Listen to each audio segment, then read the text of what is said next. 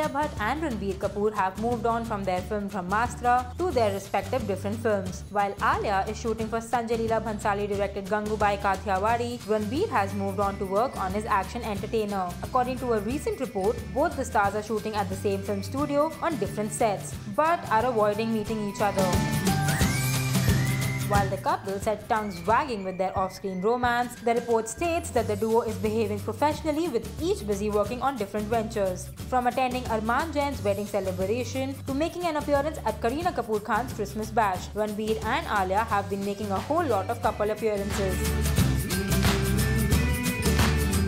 There were rumors that Alia and Ranbir are planning to tie the knot in December this year, soon after the release of Brahmastra. Meanwhile, Brahmastra will finally release on 4th December 2020.